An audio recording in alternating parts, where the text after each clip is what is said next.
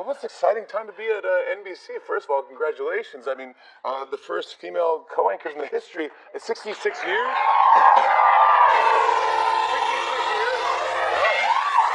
What? yeah, I, I want to tell you the news. Yeah, exactly. But that's a, it's a, it's a giant thing. And man, oh man, I mean, you make have great chemistry, obviously, but uh, you've uh, both paid your dues. Hoda, you've been doing this Dateline 16 years? Yeah, I was doing Dateline for a long, long time, um, and then I started laughing and scratching and drinking with Kathy Lee for 10 years. Oh, and it was the best. and you the- changed the game. You guys are great. The combination of those two things, I think, made everything work out just right. Um, Like Savannah and I started uh, anchoring together, and it was just weird. It was like if you've ever met a friend for like and had had like a great moment, and you say to yourself, "Wow, that was so much fun! Like that works." I think we had kind of like an instant thing. Hoda says it was like a first date, and I was Yeah. like, and I'm easy and desperate, so it was like, yeah, no problem. It was, it was like it just clicked, and it felt so good. Yeah. And And you can see it. It We're comes so happy. through. It comes through on TV, and people are loving it. I'm so psyched, uh, and uh, I'm just happy that you you you made a positive out of what is a pretty just kind of a negative or sad situation. You made it into a positive thing. Yeah, it was. It It's was tricky. It was a difficult time for the show, no question. And Yeah.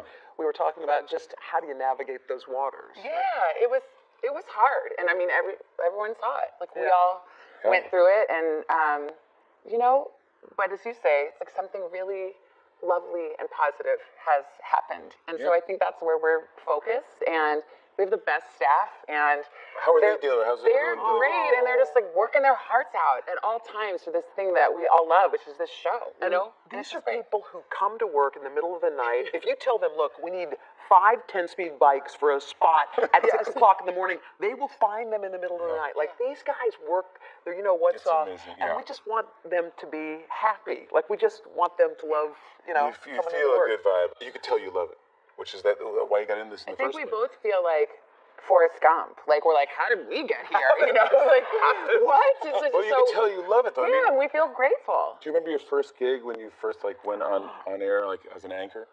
I remember, yeah, I What do you re- mean in local news? Yeah. Yeah. that was that may have been like one of the most terrifying experiences in the world. Can I tell you just a real quick story? So I was filling in for someone, and it was my very first time anchoring, and her name was Ann Martin, and she was like a legend. And I still remember the prompter.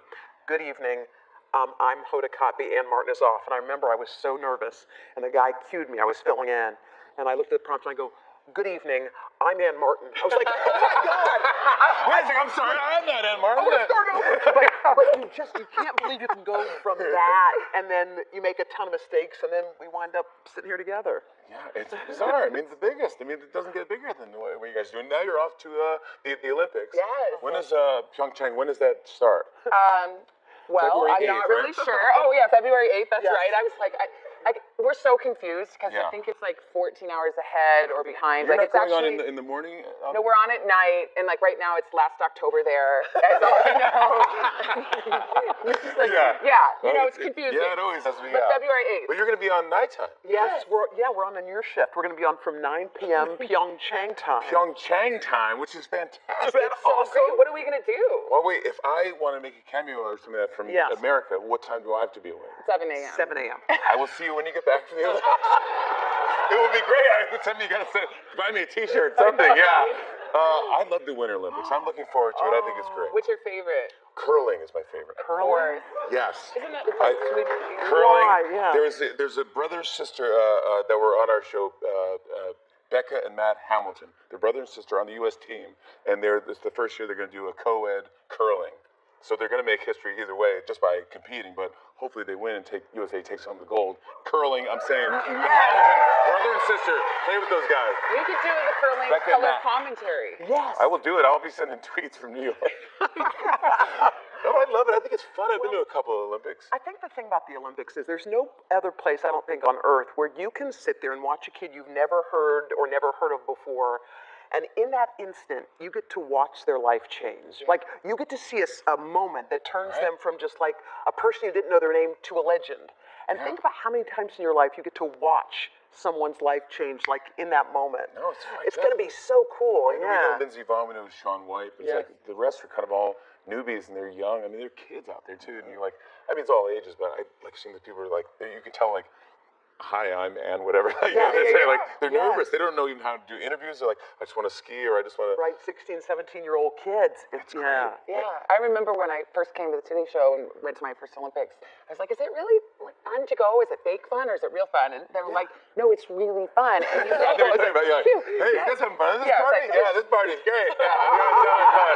Uh, can we leave now? Is it too rude to leave now? Yeah. no, but it was actually.